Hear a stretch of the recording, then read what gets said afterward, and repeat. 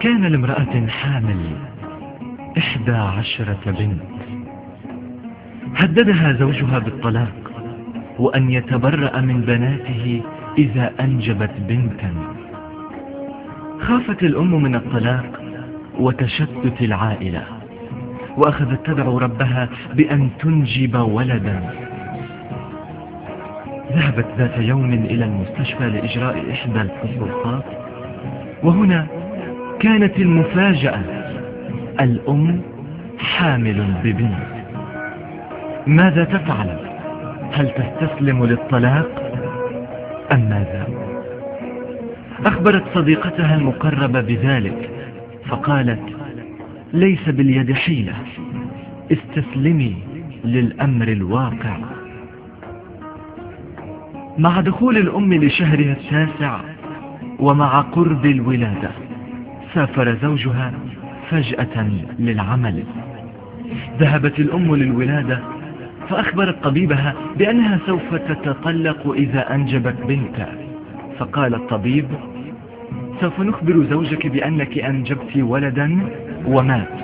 أما طفلتك سوف ندفنها حية حزنت الأم على هذا القرار ولكن ماذا عساها أن تفعل حيال زوجها؟ ولدت الأم وذهبت هي وصديقتها لدفنها وعينا الأم تذرف دما ليس دمعا فهذه ابنتها. رجع زوجها وحزن على ابنه الذي مات ولكن لا حول ولا قوة إلا بالله.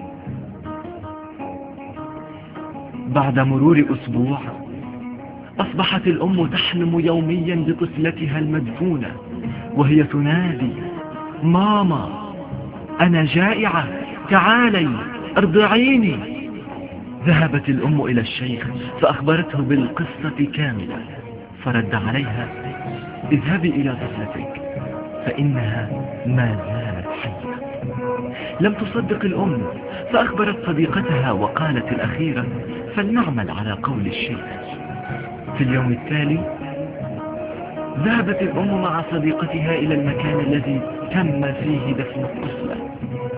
فبدأت الأم بالحفر وتوقفت لأنها لا تصدق بأن ابنتها حية فأكملت صديقتها عنها. هنا كانت المفاجأة. الطفلة كانت كما وضعتها أمها. الطفلة ما تزال حية. حملت الأم طفلتها إلى صدرها. وهنا كانت الصاعقة عندما وجدت الأم طفلتها على قيد الحياة وأخذتها لترضعها حدثت أكبر هزة في تاريخ البشرية. نطقت الطفلة وقالت يا من تخليت عني يا من تخليت عني لا أريد من حليبك.